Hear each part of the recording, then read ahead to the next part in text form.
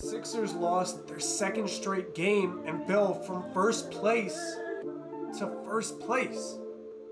Don't even worry about it. You know who I am, bro. Let's talk about it. So here's the deal Philly just couldn't capitalize. Their offense naturally produces one on one mismatches and number advantages. That's where Philly has to take advantage. Joe draws a double, so the Suns gotta react and rotate defensively. The Sixers naturally produced a numbers advantage. 2 5 gets downhill and brings three Suns defenders with him. That leaves Matisse wide open in the corner with the green light. Ben and Joe each only assisted one bucket in the first half, and the Sixers only made two threes in the opening two quarters. The Sixers just couldn't capitalize on these number advantages that their stars were naturally creating. It was just an off night. Their offense didn't look out of sorts. It's only the second quarter, and Joe's presence forces Phoenix to throw three bodies at him. That generates a high percentage shot, and Phoenix they've got to scramble. The Sixers naturally displace the defense, but you need those shots to fall because when they don't, it's a lot harder to create any separation on the scoreboard. Honestly, I don't see much concern with the Sixers offense. They generated the looks and the number of advantages they wanted all night, but they lack scoring and production in between the margin. Watch Danny Green and Tobias pull any potential double teams away from Joe.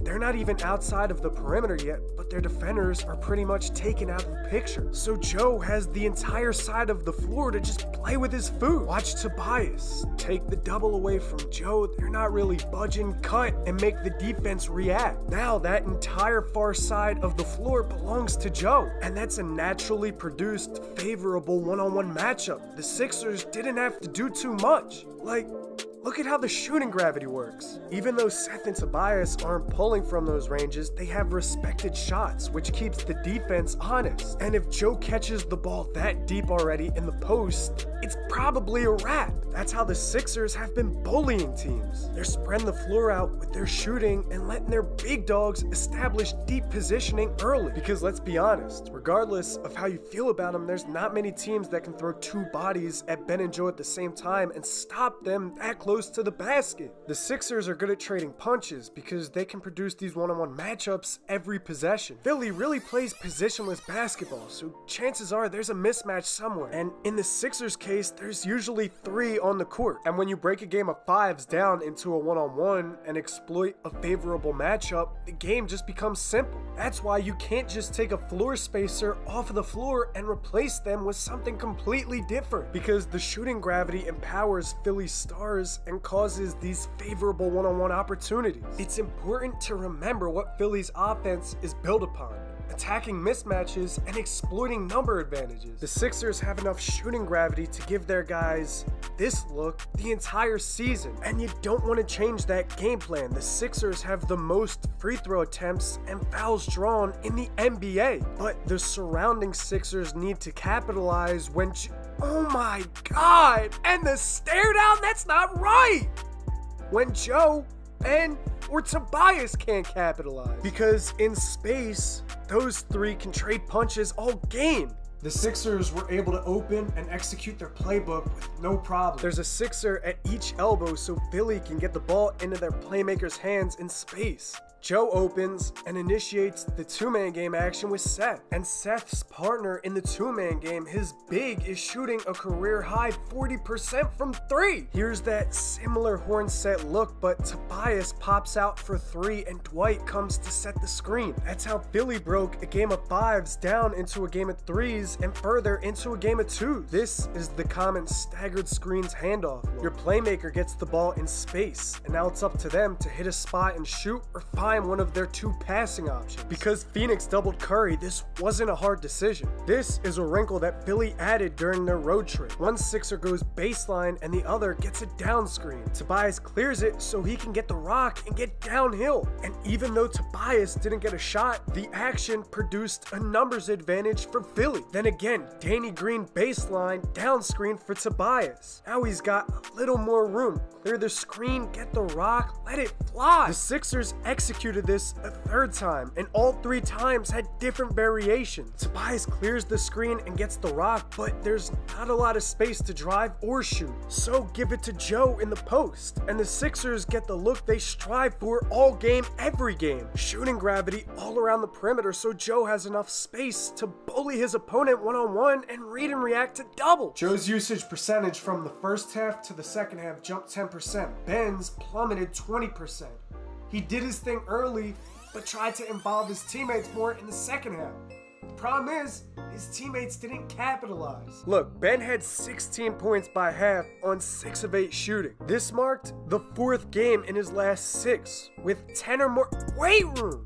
10 or more points on at least 65% shooting by halftime. Through his last 10 games, Simmons is averaging 16.2 dribbles after weight room. You can't stop that. Anyway, 16 points per game, 8 rebounds, 8 assists, and 2 steals. Hold on, do you understand how difficult it is to pick your dribble up 15 feet out at the free throw line and get a shot right next to the rim? Now, I didn't love that Ben only took one shot in the second half, and it was a miss against, of all people, this dude, Devin Booker. D-Book put 17 on Ben's head. And if you know their history, that's disrespectful. Listen, Ben was aggressive early, but he went with the floor game in the second half. The Sixers altogether only made two threes at halftime. Ben alone usually assists four a game. He's trying to get his teammates involved. I mean, would you rather him do this seven more times a game and take the ball and shots away from his teammates? No! Like, this is the one time in the game where Ben's lack of a jump shot negatively affects the squad. Ideally, he could have pulled up and hit a three point shot or a mid range shot, but he turned it over and gave Phoenix the ball. The Sixers were up eight though, and this was in the first quarter. Ben's negligence to shoot in the second half was because of the floor game. He was trying to get his teammates involved to help carry Joe's load. Tobias did what he always does, but game script negatively impacted his game.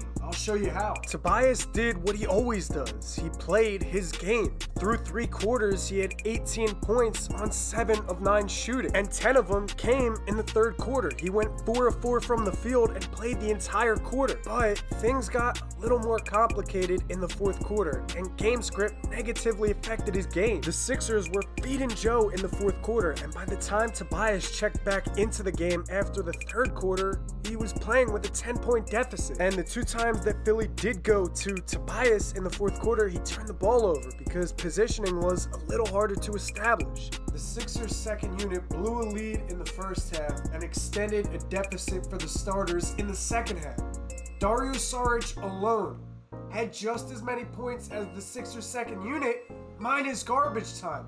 That's the game right there. Minus garbage time, the Sixers bench combined for 15 points on 4 of 16 shooting with one three-point mate, whereas Phoenix's bench scored 47 points on 64% shooting and 5 threes made. The second unit blew a lead in the first half and pushed a 2-point deficit to a 10-point deficit in the second. Let's see what happened on defense because it wasn't pretty. Defensively, Philly allowed way too much dribble penetration early. Now listen, both teams turned the ball over 13 times and both scored 25 26 points off of turnovers. There was no scoring advantage for Phoenix off of turnovers off of rebounds or at the line. And Phoenix, too, only had two made threes at halftime. They ended with just three more made threes than the Sixers. But the Suns had a plus 16 point differential in points in the paint. This is where almost half of their points came from. Philly's plus 14 free throw advantage probably made up for that, but the same way Philly got whatever they wanted, the Suns got whatever they wanted. Chris Paul and Devin Booker were working Philly.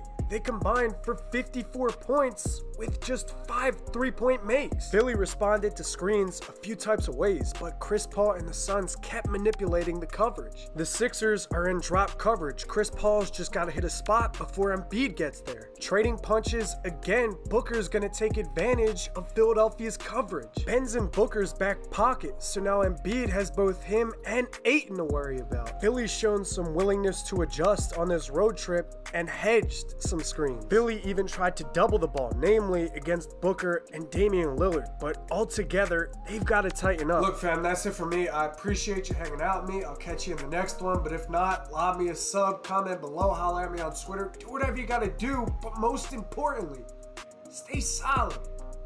stay solid, baby.